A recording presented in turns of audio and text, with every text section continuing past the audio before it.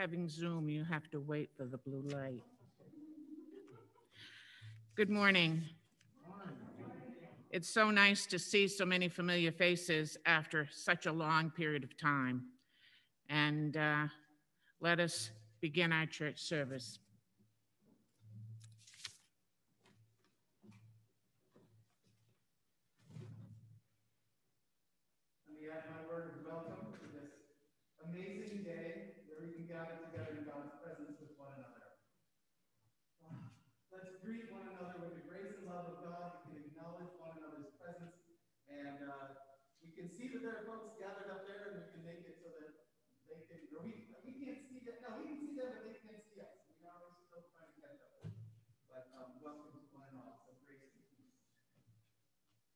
couple things to celebrate.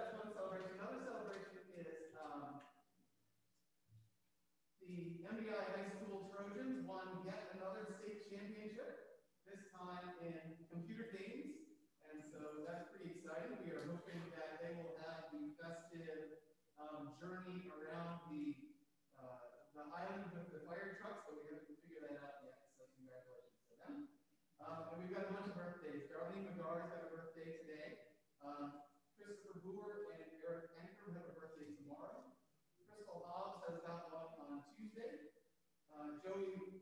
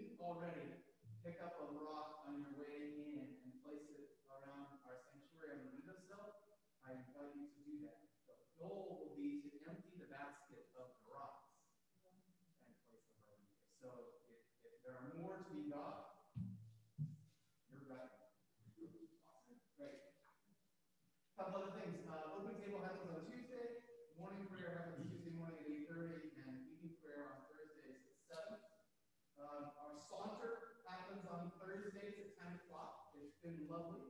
Uh, our choir is singing on Wednesdays at 6. Uh, we've got the eighth graders and families picnic and celebration and blessing this Thursday at 5.30 at the Saltair Inn. Bible study happens on Friday, both in person and on Zoom. And our graduate recognition and blessing is happening on today, not Sunday, right here during the service. If you'd like to serve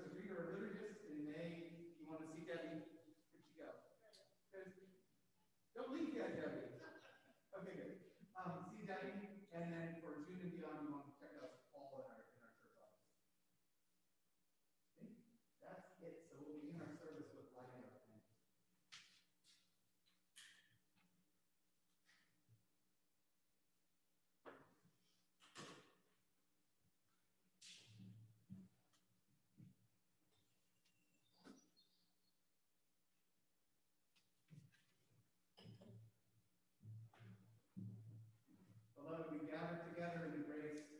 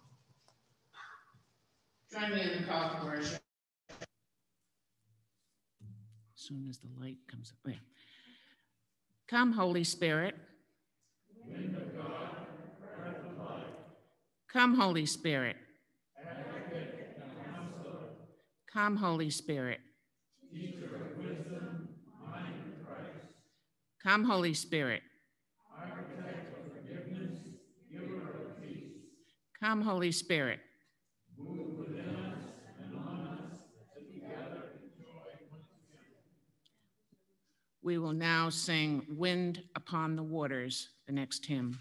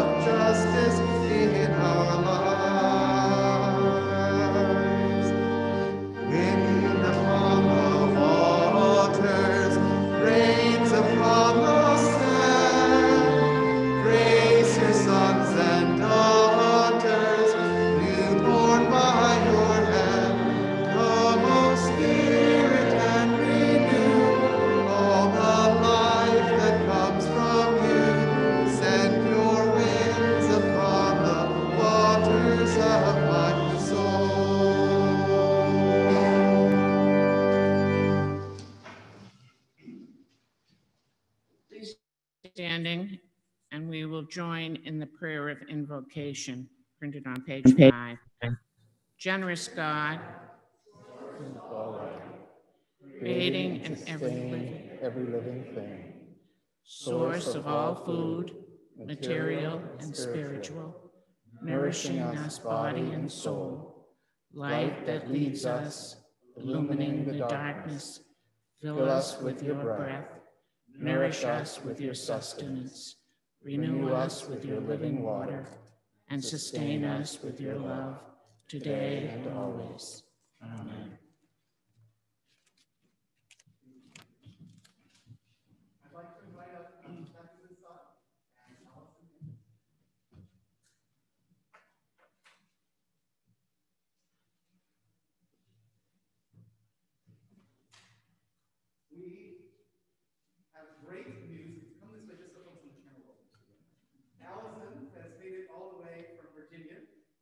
our seminary this summer, arriving last night just in time for the sunset, and which was extraordinary, and I you all.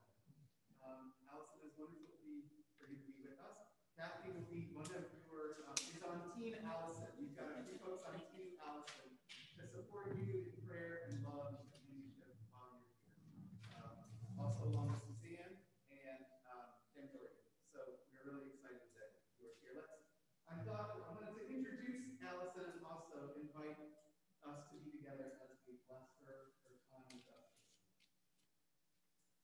grace, we ask your presence with Allison.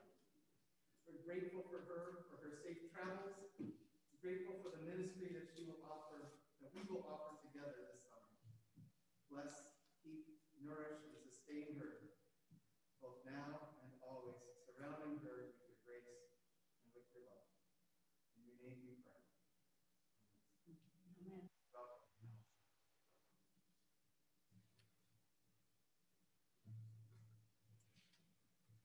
Before I forget, next Sunday, we're going to have a lemonade and cookie social out on the lawn.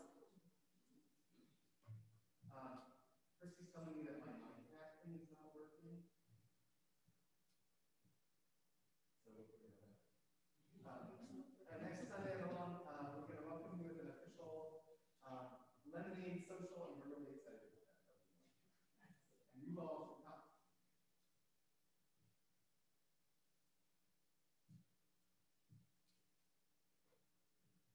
As we come to our time of prayer. I invite you to share your prayers. Um, you can do so on the prayer request card, or folks online can do so by way of the chat. We lift up in prayers those known to us already. Rita and Carl, Lee and Ann, Kathy, Sue and Rusty, Judy, Gertrude, Darlene and Nicole, Levi, Jimmy, Karen, Andrea, Gary, Owen,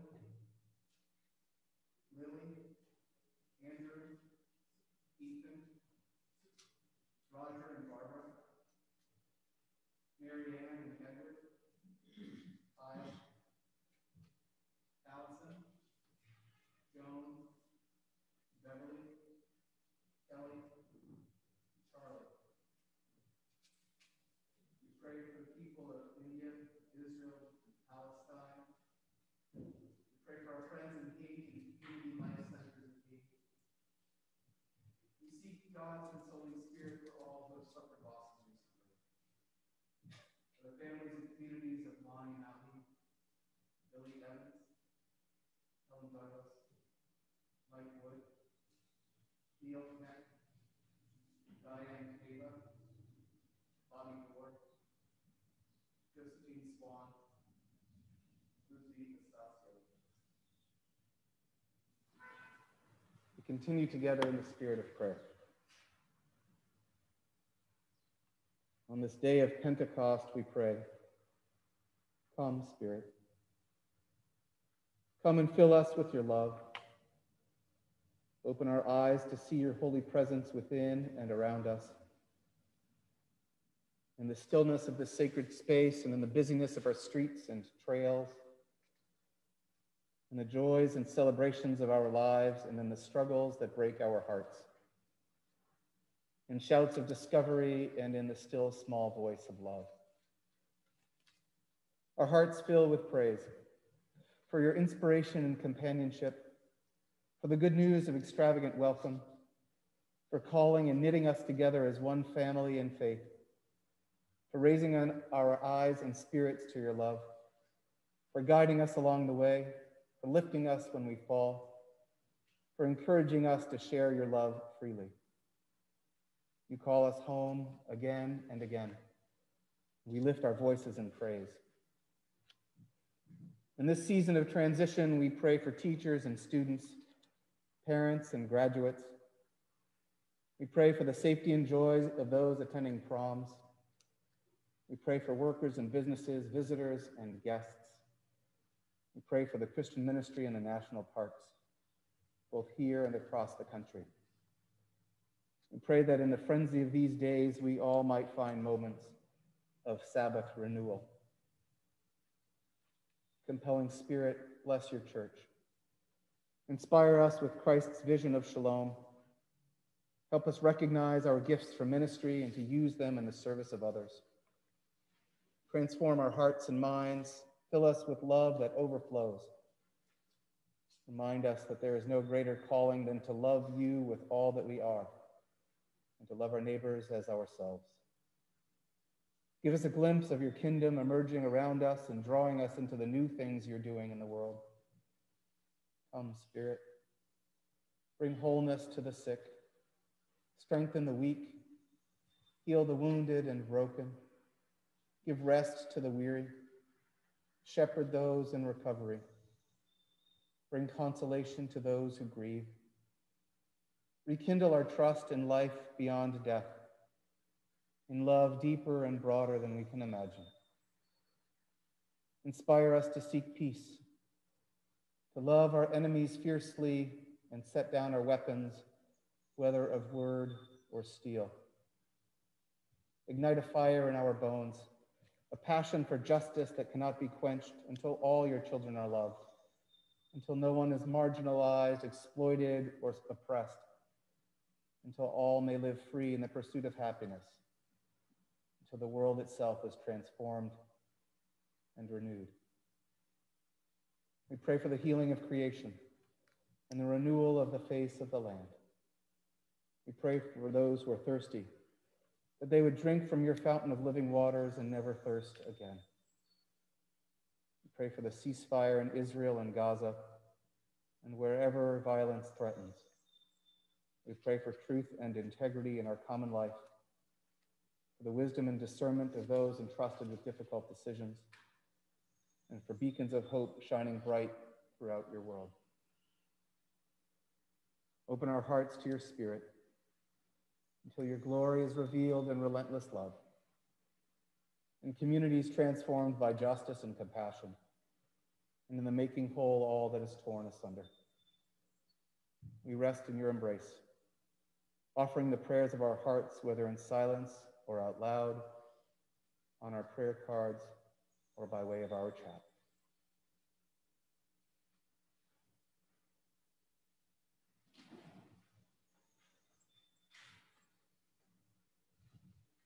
I'll come around and collect cards if you have them.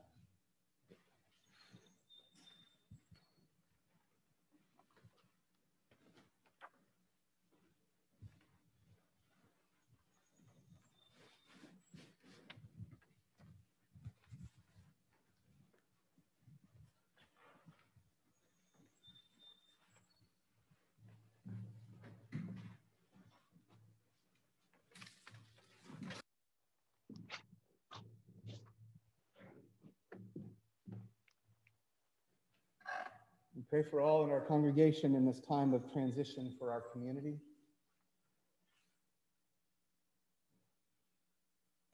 For Dee Dee Whitaker, that her lumpectomy follow-up appointment on Monday would include good news of no lymph node activity and clear margins.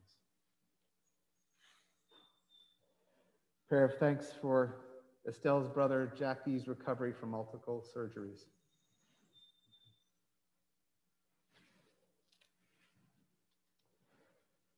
To your love, O God, we entrust all for whom we pray, and our prayers, both spoken and unspoken. Together praying as Jesus. Our Father, who art in heaven, hallowed be thy name. Thy kingdom come, thy will be done, on earth as it is in heaven. Give us this day our daily bread, and forgive us our sins as we forgive those who sin against us. And lead us not into temptation, but deliver us from evil. For thine is the kingdom, and the power, and the glory forever. Let us sing a response.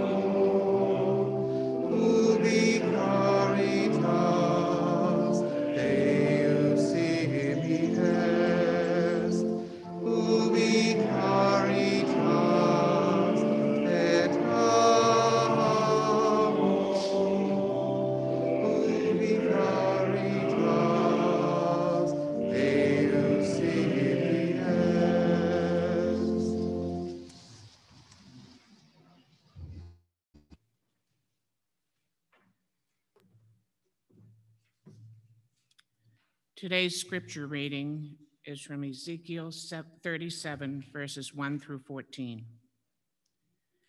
The hand of the Lord came upon me, and God brought me out of this, of this by the Spirit of the Lord and set me down in the middle of a valley. It was full of bones.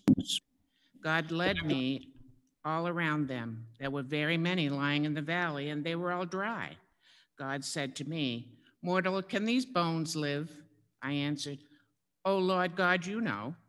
Then God said to me, Prophesy to these bones and say to them, O dry bones, hear the word of the Lord. Thus says the Lord God to these bones I will cause breath to enter you, and you will live. I will say sinews on you, and will cause flesh to come upon you, and cover you with skin, and put breath in you, and you shall live, and you shall know that I am the Lord. So I prophesied as I had been commanded, and as I prophesied, suddenly there was a noise, a rattling, and the bones came together, bone to its bone. I looked, and there were sinews on them, and flesh came upon them, and skin had covered them, but there was no breath in them. Then God said to me, Prophesy to the breath, prophecy, mortal, and say to the breath, Thus says the Lord God. Come from the four winds, O breath, and breathe upon these slain, that they may live. I prophesied as God's commanded, and the breath came into them, and they lived, and stood on their feet, a vast multitude. Then God said to me, Mortal, these bones are the whole house of Israel. They say, Our bones are dried up, and our hope is lost. We are cut off completely Therefore, prophesy and say to them, Thus says the Lord God, I am going to open your graves and bring you up from your graves, O my people, and I will bring you back to the land of Israel. And you shall know that I am the Lord. When I open your graves and bring you up from your graves, O my people, I will put my spirit within you, and you shall live.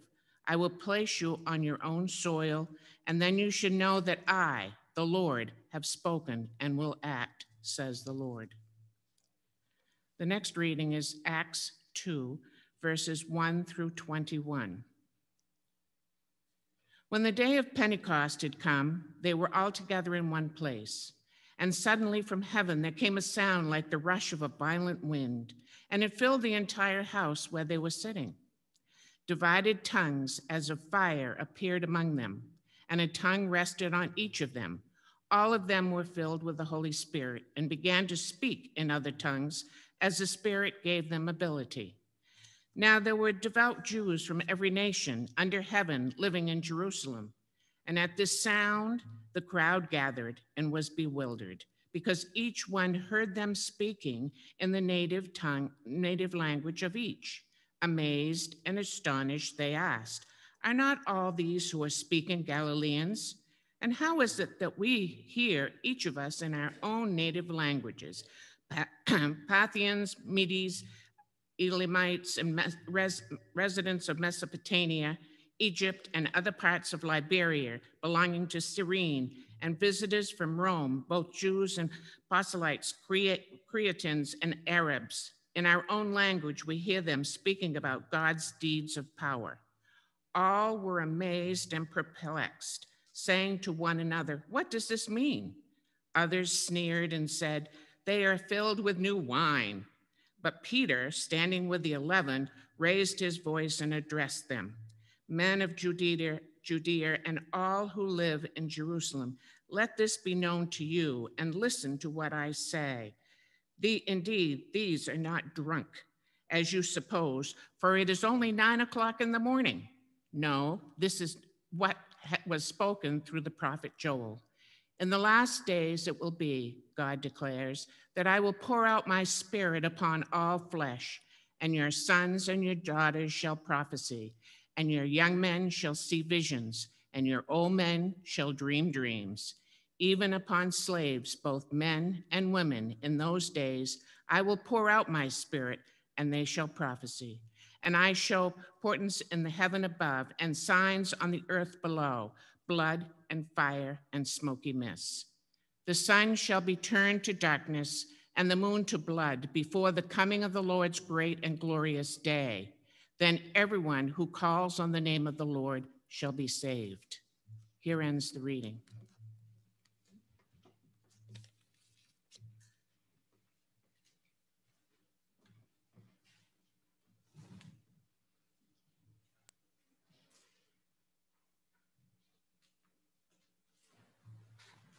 Let us pray. Faithful God, both companion and creator, breathe new life into dry bones. Speak new freedom in our lives, that we might declare with heart and soul and voice the good news and great hope of your redemption. Amen. Hallelujah. Say that with me. Hallelujah. By the grace of God, we are gathered together once again, not only in the electronic ways we've been accustomed to, but here in God's house as one family. Let's take a moment to look around, to see each other, to behold, to behold our siblings in Christ. Many we know, some we might not. Yet here we are, gathered by God, called beloved by Christ, nurtured and blessed by the Holy Spirit. God has blessed us. God is blessing us right now. And we lift our hearts in thanksgiving and praise. Hallelujah. Hallelujah. Hallelujah. Before I get started, let me tell you, we're about to do something really exciting. Untried ever in the history of church. Our Zoom and PowerPoint, go Steve. Our Zoom and PowerPoint host, Steve, up to now has been managing things from his living room. But he also really wanted to sing with our church choir for our special music today. So he's just set out for church, and he should be here in a couple minutes. Okay, the upper right there where it's blank, that's where Steve would have been a minute ago. After part one of the sermon, we'll sing, and then I'll continue with part two. So I invite you to keep him in prayer as he makes his way over here. Godspeed, Steve. we thought it was Pentecost. We got to do something way out on a limb. I said to Steve, you know, I normally like operating with a net, and you know me, you know that's true, but we're like, oh, okay. This is fun. Last summer, during our outdoor worship services, we gathered stones and wrote a word or prayer to represent our prayer during the pandemic and to voice our hope and anticipation of when we would gather together again. We hoped, we hoped this day would come but we didn't know when. And it's been a long, long time. We said that we would place stones on the windowsills around the sanctuary to remind us of what has sustained us these 15 months the prayers, the gifts, and blessings of God, the love of our church family, and the compassion of others. On your way in today, you picked up a stone and placed it near where you're now sitting. And if you didn't, you soon will. I'd like for you to look around and take notice of the stones ringing our sanctuary. There's a bunch over there, like Kathy and Terrence over here. If you were in the back, I'm noticing some over here as well. While I read what is written on each one, I'd like for you to think about a time when this word or phrase has held particular meaning for you in these last several months. Inspire, courage, community support, true self, understanding hugs of comfort, embrace, kindness. Grow in knowledge and love of God and others. Community and love. Deeper appreciation for and connection with and love for one another. Steadfast love.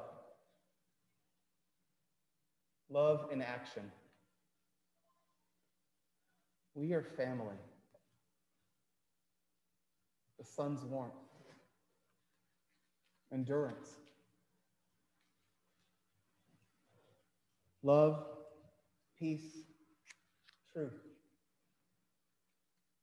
hope, freedom, love. Trust the timing. Unity, family, patience, harmony. People as witnesses to God's love, perseverance, democracy, reminded of God's love, stay firmly rooted, continue to love, sustain us, bread of heaven, peace, togetherness. Continue paying love forward. God's will is done.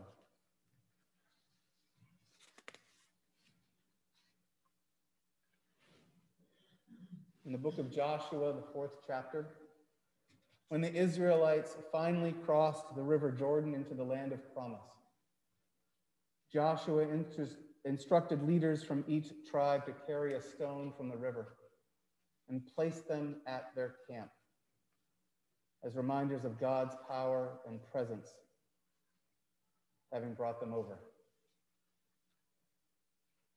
In the fourth chapter, they read, it reads, Those 12 stones which they had taken out of the Jordan, Joshua set up in Gilgal, saying, When your children ask, What do these stones mean? Let them know that God has brought us over, so that all may know that the hand of the Lord is mighty, and so that you may honor God forever. We too will keep these stones as reminders of God's power and presence with us, bringing us over, bringing us through, bringing us together. Once again. And if someone asks what these stones mean, tell them. We've come this far by faith. We've come this far by grace. We've come this far together. Hallelujah. We sing our praise to the power of God. Precious Lord, who helps us stand, who helps us stand strong when we are weak, who leads us on even today. Let's sing.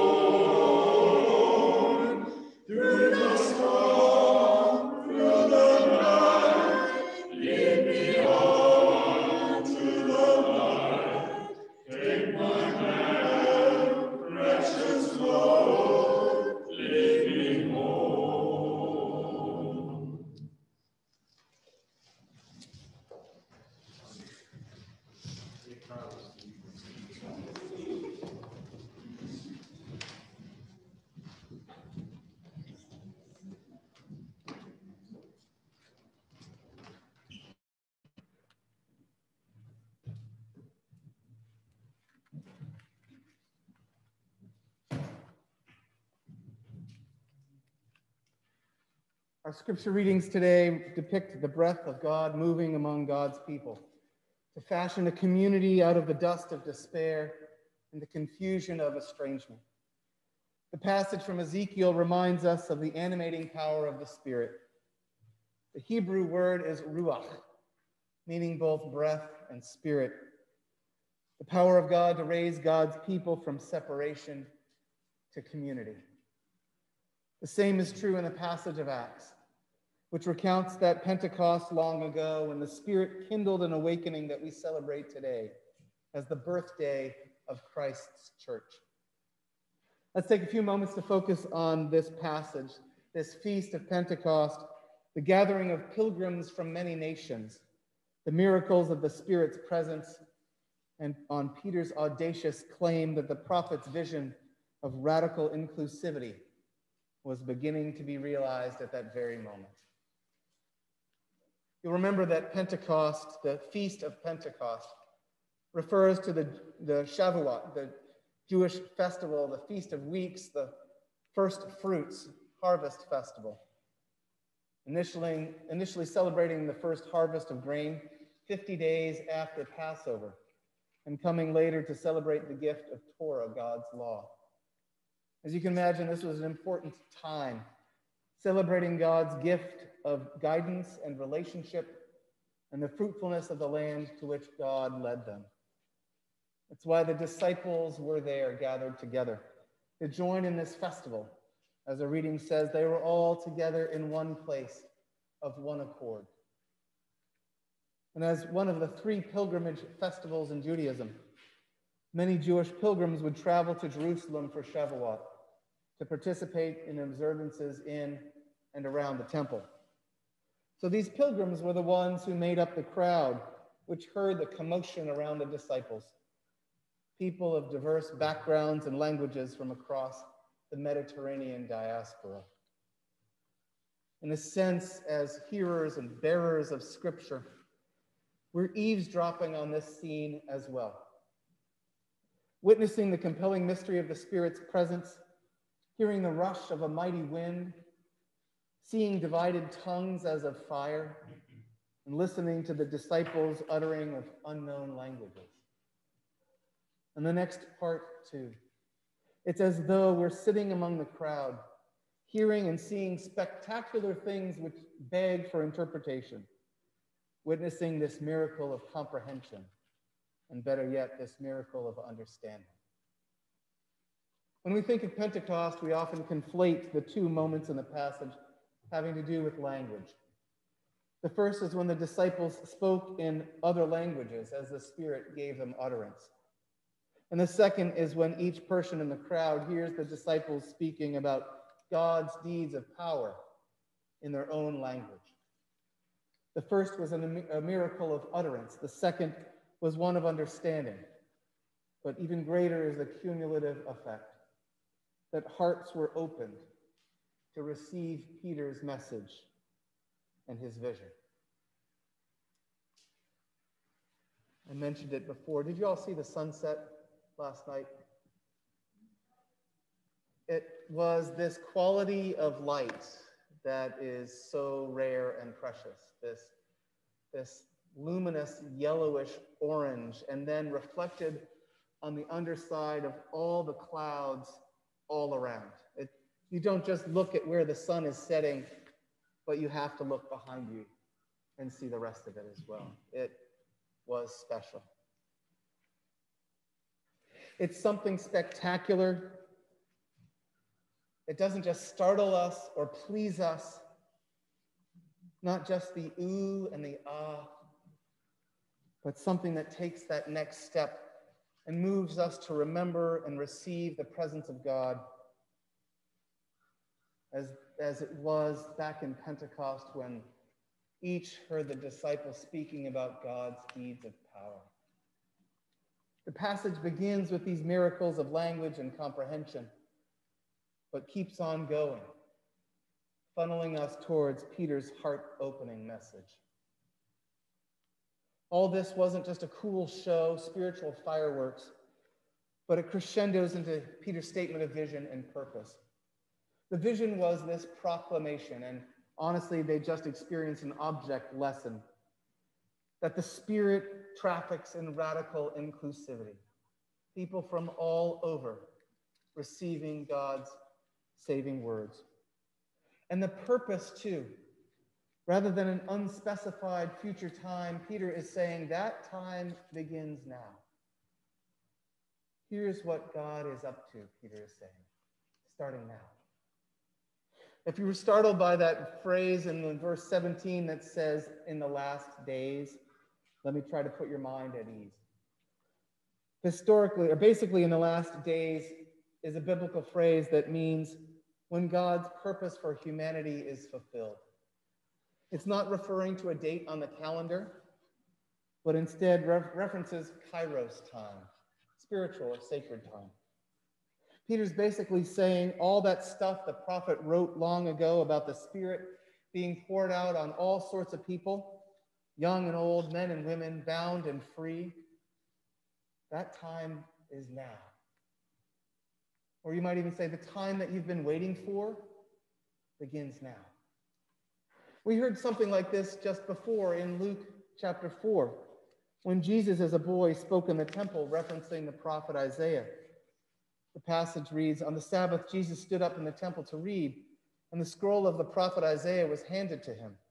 Unrolling it, he found the place where it was written, The Spirit of Lord is upon me, because he has anointed me to proclaim the good news to the poor.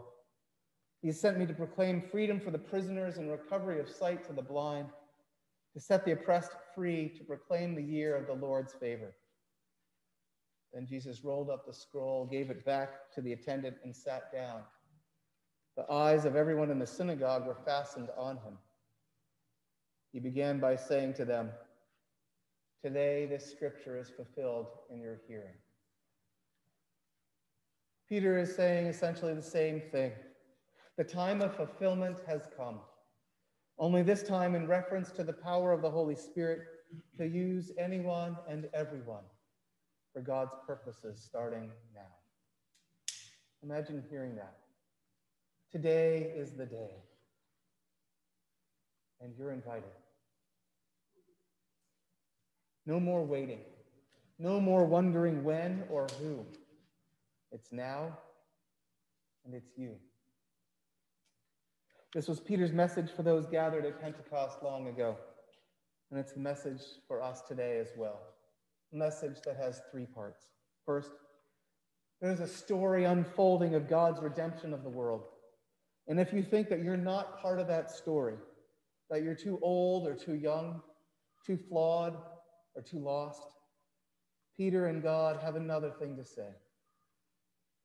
You, yes, you, are part of God's purposes. Your visions and dreams, your hopes and your passions are the Spirit of God writing this story in the pages of humanity. Pirkei Avot in the Talmud wrote, do not be daunted by the enormity of the world's grief. Do justly now. Love mercy now. Walk humbly now. You are not obligated to complete the work, but neither are you free to abandon it. That's the first part of this message, one of radical inclusivity. We are the ones God's been waiting for. Second, all this isn't unfolding over the horizon of some nebulous time then, but it's happening now, in spite of what can appear discouraging or disheartening. Those days are these days. Not in the fatalistic end of the world sense, but in the sense that God's Spirit is afoot even now, bringing to fruition what was planted at the beginning of time. That's the second part. And finally, Everything that God needed to do has been done. The justice and peace we long for, the reunion and reconciliation we crave, the hope and love, it is finished. It's done. There's nothing more God needs to do. It's already been written, and the lagging typewriter is just catching up. That's what we're witnessing at Pentecost. That's what we're called to join in. The arc of the moral universe is long, but it bends towards justice. We already know how the story ends. We've just got to read our lines and do our part. Let this message animate the dry bones of our parched spirits. Let the Spirit give us words to tell God's deeds of power and understanding to receive and share them with one another. Let the Spirit touch our hearts and lives like a mighty wind, like tongues of fire. And let the Spirit so move among us that we take up this call to walk with God hand in hand along the path of redemption. Come, Spirit, come.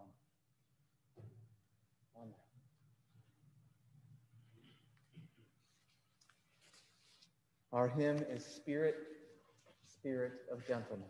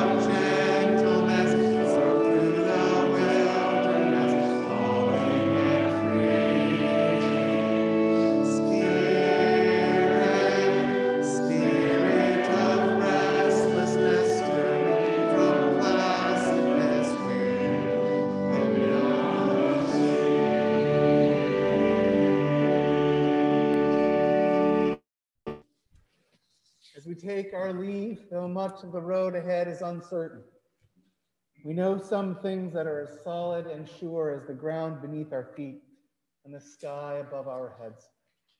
We know God is love. We know Christ's light endures. We know the Holy Spirit goes with us, found in the space between all things, closer to us than our next breath, binding us to each other, holding us in love until we meet again. We go in peace to love and serve the Lord. Thanks be to God.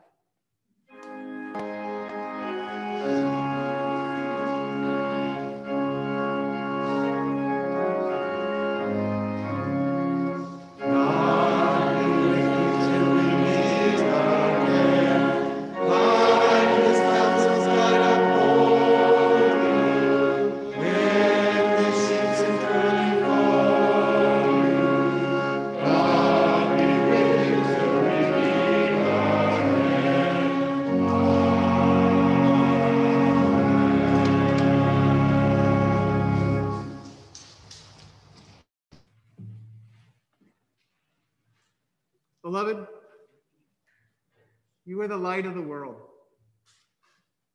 Let your light shine, for we go in peace. Amen.